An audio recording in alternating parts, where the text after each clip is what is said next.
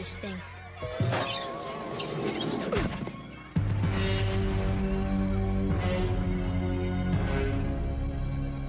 Oh, uh, Principal Prickly, what brings you out on the playground, sir? Your happiness, son. Tape it off, boys.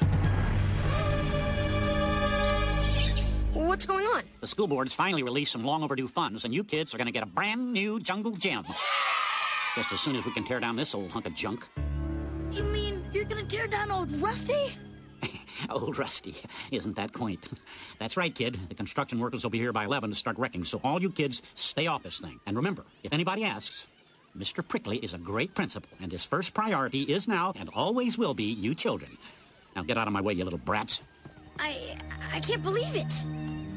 Recess without old Rusty. Say it ain't so. Why do grown-ups always do these things? I'll never forget this old thing. Yeah. Right here is where the swinging girl laughed so hard, she swallowed her loose tooth. And right there's where Pinky Jones fell off and broke his collarbone and had to have that plate put in his head. You just can't replace memories like that. Old Rusty was here when my big brother was in school. Old Rusty was here when my mom was in school. Heck, old Rusty was here when my great Uncle Mary was in school. Your Uncle Mary? Don't ask. Who knows how long old Rusty's really been here? I'll bet old Rusty's older than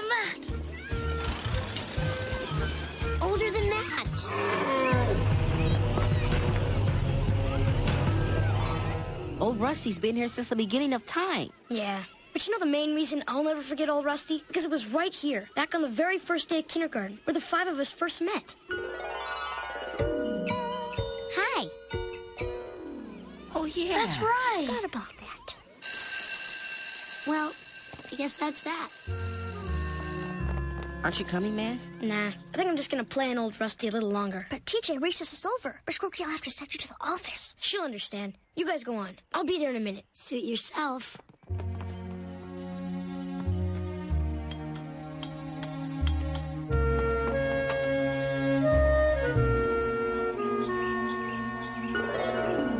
So then the bus driver says to the string, Hey, are you a string? And the string says, Nope, I'm afraid not. Hey, kid, what are you doing up there? Playing. Well, get down from there. We got work to do. I can't. What do you mean you can't? Get off that thing, kid. We got orders to knock it down. Sorry. Now, look, kid. Either you get off, or, or we're gonna have to knock it down with you on it. If that's how I have to go, then so be it. Ah,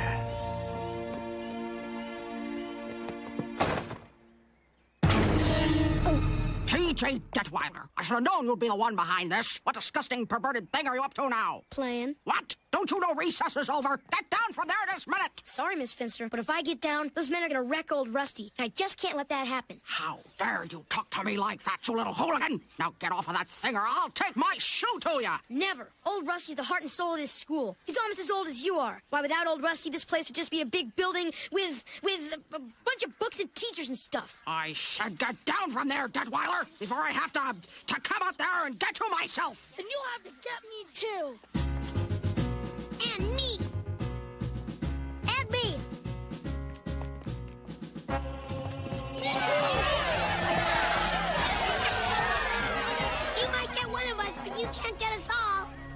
Brats have ten seconds to get down from there, or I'll have every last one of you expelled! One, two... What do we want? A jungle gym. When do we want it? Now. What do we That's want? it! Do something! Do Sorry, lady, but tearing down a jungle gym with kids on it is against union rules. It didn't used to be, but we had a meeting. Oh! They're giving up. We won. We won. I hope you're right, Vince. I really hope you're right. Someone swinging, my lord. Kumbaya. All these kids unified against the forces of oppression. It's so beautiful. Yeah, yeah, real beautiful. But what's the man up to now? That's what I want to know. Me too, Spinelli. Me too. This is a disaster. A disaster, you hear me? Do you have any idea how this is going to affect my career? If the papers get wind of this, I can kiss that cushy job at Spiro Agnew Middle School goodbye. Excuse me, Principal Prickly, sir, but maybe the kids have a point. Maybe we should just give them what they want. I mean, after all, it's just a jungle gym. Just a jungle gym? I always knew you were a troublemaker, Grotke. Give in to the jungle gym today, and they'll want better food tomorrow. Soon they'll demand longer recess and then more free reading time. Eventually, rock and roll will take over the world. Society will crumble, and Western civilization as we know it will come to an end. I see your point, Miss Finster, but we can't start by using force. I think we first need to take a middle course. I'll try to reason with them, and then, if that doesn't work, we'll execute Plan P. Plan P? But Principal Prickly, don't you think that's a bit extreme? Extreme times call for extreme measures, Miss Grotke. Excellent. Someone's digging, my lord. Kumbaya. Faculty approaching. Hello, children. Lovely day, isn't it? In fact, it's such a lovely day, why waste it on this rickety old piece of junk metal? If you'd all just step down for a moment, we could exchange it for a brand new high impact plastic one. I hear it even has a realistic feeling plastic captain's wheel. Never! Old Rusty is ours and we'll never give him up! Huh, sorry you feel this way, but perhaps if I explain things, you'll see the light of reason. This old Rusty, as you call it, is school property. And as the keeper of school property, I feel a certain sense of ownership over it. So in the name of Third Street School, it is my responsibility to say to you, Get off my jungle gym! Your jungle gym? How can you own a jungle gym?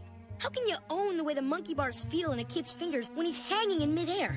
How can you put a price on the cool, clean feel of metal on a guy's butt when he's sliding full blast down a slide? It's like magic. And let me tell you something, Principal Prickly. Magic is not school property. Heck no, we won't go. Heck no, we won't go. Heck no. Okay, that's it. Miss Finster, execute Plan P. That's right. I'm calling your parents. Our parents? How low can they get? Oh, heartless fiends. This better be good, Finster. Yeah, I had to cancel yoga to come down here. I thought anyway. I, it doesn't make any sense. We shall not, we shall not be moved. We shall. Look what your rotten, no good children are up to now. They've instigated a riot. Hey, isn't that the same jungle gym we used to play on? Man, that thing is old. Exactly. That's why we have to tear it down and put up a new one. Tear it down? You can't tear old Rusty down. Oh, yeah, this is where Laura Jameson laughed so hard she swallowed her loose tooth. And where Randy fell off and broke his arm. Hey, you still got that plate in your head? Sure do. Remember the Oh, time? oh, how about you, don't you people understand what's happening here? Your kids are standing in the way of progress, and as parents, it's your job to stop them. Now get over there and do what you have to do. Don't worry, Principal Prickly. We know exactly what we have to do.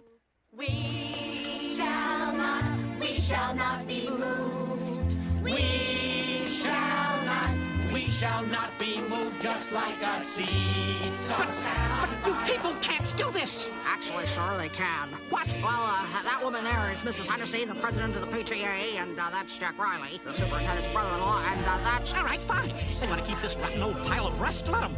Keep it, you hear me? Go ahead and keep it. Uh, teacher, I've been doing some figuring, and according to my calculations, Huh? with this much weight on it, the structural limits of Old you, Gretchen. There are too many! Look out! She's gonna cave!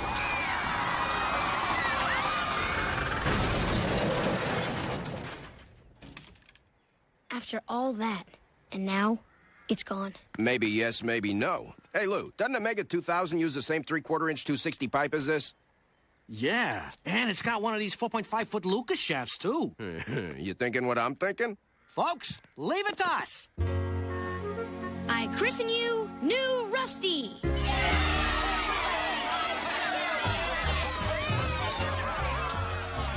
You know, Lou, I think we done good. Mocha latte?